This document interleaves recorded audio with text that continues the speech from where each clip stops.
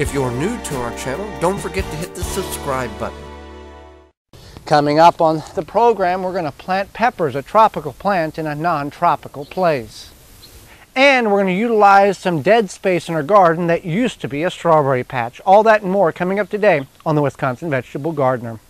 The Wisconsin Vegetable Gardener is sponsored by the MIGardener.com with over 450 varieties of non-GMO, heirloom, organic flowers, vegetables, and herb seeds, all for 99 cents. MIGardener.com. HappyLeafLED.com, a commercial-grade grow light with a home gardener's affordability. All indoors, no fans, no motors, simply plug in and grow. Great for seed starting to lettuce to full-grown tomatoes. HappyLeafLED.com. Sustane Natural Fertilizer offering superior organic plant foods that deliver research proven results. Trusted by farmers, growers, and gardeners for 30 years. Learn more at sustane.com. Welcome to the Wisconsin Vegetable Gardener. I'm Joey Baird. Well, we're planting peppers today. Now, we plant, we're planting them about a week later than normal. And the reason for that is, one, We've got smaller plant starts. Now you can go to your local garden center, big box store and buy very large plants. We had some issues with potting soil early in the spring. We nearly lost our most of our plants. Uh, we did lose some of them and we had to purchase some as well as we saved it with Moo-Poo tea from uh. That saved a lot of our tomatoes and peppers uh, from actual death. So we held off a week because a week ago we had temperatures, heat indexes of 100 degrees and temperatures in the low 90s with no shade whatsoever. Even though these plants were hardened off, I didn't want to put them through that trauma of uh, acclimating to that temperature in the ground and the transplant shock and all of that even when we water. So we held off a week. The temperatures are very mild, upper 70s now with a cool wind. We've worked, we, we haven't worked this bed at all. We've continued to uh, amend this bed with organic material. We got coffee grounds here that we didn't work in. We've got some compost that we just kind of dumped in here and covered, the covered with leaves in the fall last year. And we've come in here, we've spot weeded where we needed to, and now we're planting peppers. These peppers are on the small side, yes, but once we get them in the ground, they're going to do fine. They may be two or three weeks delayed on when we would normally get peppers, but they will produce. Pe peppers are a tropical plant, so we want to put them in a very warm area. We don't want them in partial shade. We want them in full sun. Even though we have a maple tree, tree above us, the maple tree above us uh, uh, shades the garden about two, two and a half, three hours during the hottest portions of the afternoon. We still get the evening sun that cascades across the garden. And that's really, if you're going to have one of the option, morning sun or evening sun, you want to have that evening sun because that's the more intense sun. So that's what we have here. So I've uh, individually dug the holes here. I'm going to add some Sustane 464 all natural fertilizer here. The recommended rate, now that I've dug this hole, uh, I'm kicking up, that's one worm, that's another worm, the garden is loaded. There's another worm. The garden is loaded with worms, uh, mainly because one, we don't till, and two, we've added a ton of organic material, and then they've come and they've made their home here. So now, the way you can remove, if you've got a cluster of, of peppers here, these should have been in all perfect scenario, uh, put in their own root maker cell, but we were in the process of recovering and saving them rather than trying to get them to grow. So these, this is a banana sweet pepper. So I'm just going to take, punch it out of there, and loosen it up. And I'm going to take the largest one, which I, I'll just take this one here, pull it out of the soil. And this will go through a little bit of a shock, but not bad. It has a good root establishment on it. So what I'll do is, is make a hole here. I'm not going to bury it very deep. I'm just going to bury it about a half inch above, let's go that way, above where the root system actually is. There's a slight chance that some more roots will form below my finger, but it's not like a tomato where it's going to form anywhere the soil hits the stalk. So we'll nestle it in there. That's a rock. Get that out of there. Pinch it down in there. And it, what you see here, it's kind of concaved. So one, when we hit the hook the irrigation system up, the water will kind of pool and go to the root zone. I will add a little bit more uh, soil here. And then what we can do is we can take leaves and mulch around the plant also as a water retention mechanism. Uh, that's what you want to do with these, uh, any type of mulch to hold the, the moisture in. These will perk up. Uh, uh, they've done well in the container now that we've saved them. They'll perk up and they'll produce very, very good. Uh, you can put these about a foot apart, uh, 16 inches if you want to go a little wider. I put them a foot apart so as they grow, they'll kind of grow into just a shrub and they will produce very, very heavily. Uh, and we'll put an irrigation system on them to keep the water uh, on them and hydrated so we don't have any stressed plants. So growing eggplants in a large quantity or small quantity can be very successful.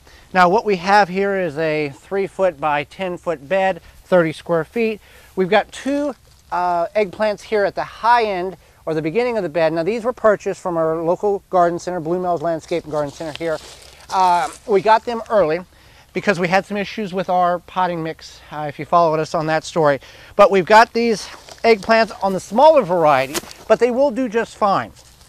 I got several different varieties and we've planted uh, this bed pretty heavy and pretty thick. We're going about 16 inch spacings. Now, if all conditions are good, these plants will get pretty much shrub-like uh, a whole row, just like you would hope to have, uh, kind of like what we have over next to it with the garlic.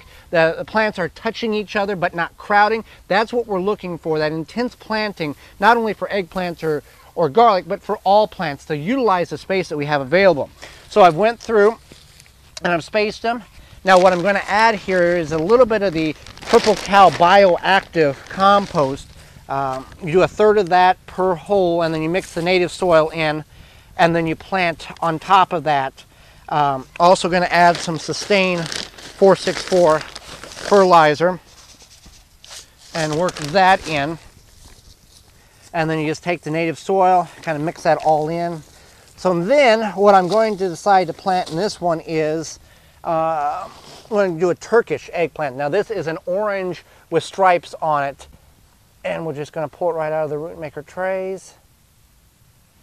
We've got good roots on the plant here. So what we want to do is, after we fill that hole back in, because we've mixed this bioactive, we need to mix that in because you can't do it 100% strength. It will harm the plants. Even though it's OMRI listed, it's got a, uh, it, it, helps the plants uptake the nutrients uh, in the soil. But again, you can't do it 100% strength. Uh, so now Get it? And we want to plant it at the same depth in which it was in the container because even though eggplants are part of the nightshade family, like tomatoes, they just don't put on the roots up the stalk like a tomato would. Now what we can do is take leaves, this here we surround it with cardboard, any type of mulch, and I can bring more in here some more. We're gonna basically hide the plant essentially, but that's gonna help establish it and then it will pop through um, the hole here that we've created and you can do eggplants in a container. The thing with eggplants are they love a lot of heat, a lot of root heat. So if you're in an area, and this we're in the higher portions of the garden here, where we get a lot of afternoon sun, if you can get a lot of root heat and keep the moisture to the roots, the eggplants will flourish like uh, crazy. We've grown them in the Eco Garden system before. Does really, really well, as well as black containers from Root Maker. It absorbs that heat. We keep the moisture to them and they thrive. So keep that in mind if you're trying to grow eggplants and haven't been quite successful.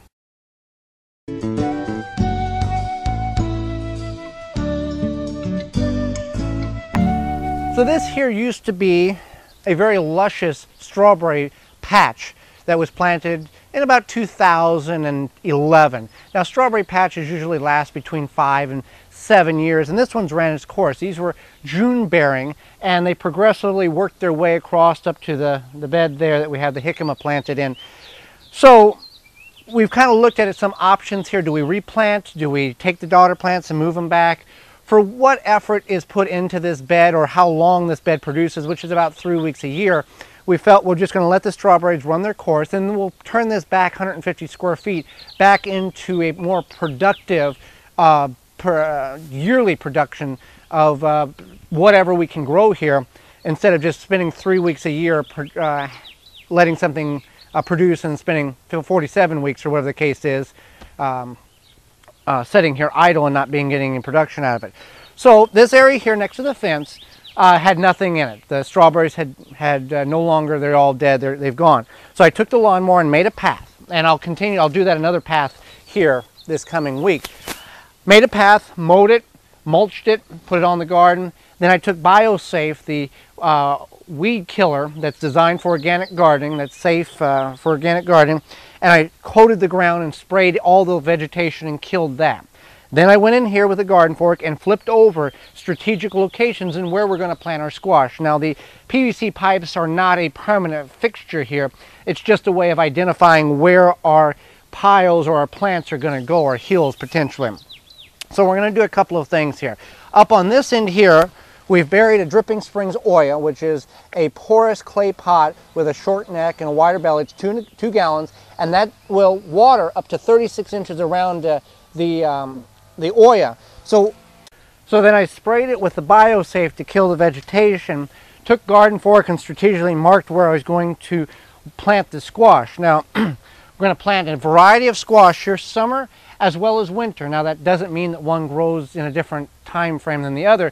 Just the winter squash will stay longer or uh, store longer over the winter months. Now we've had some very good success by allowing the zucchini, the green zucchini, to grow very large and then let that, um, and it mimics a winter squash, and we've had it kept from July all the way through March before without any problems at all. So you want to get it very, very big in order to, for it to preserve that way. But here's what we've got. we are going to plant the summer squash on this end and around the Dripping Springs Olla where the moisture consistently is going to feed the plants, we're going to do winter squash. So here's what we're growing uh, in this patch here. We've got Tatum summer squash, gray summer squash, eight ball summer squash, scallop, scallop yellow bush summer squash, kakuza, kazula summer squash, and here's our winter squash varieties that we're going to grow. Jumbo pink banana. Now this takes between 90 and 110 days.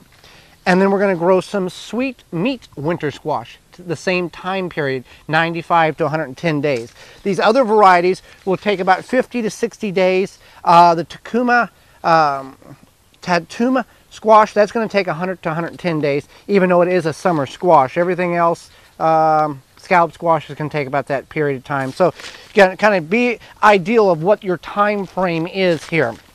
So how we're going to plant this. Uh, Again, the white uh, PVC pipes is not thing uh, permanent. I'm going to put some Sustane all natural fertilizer uh, down.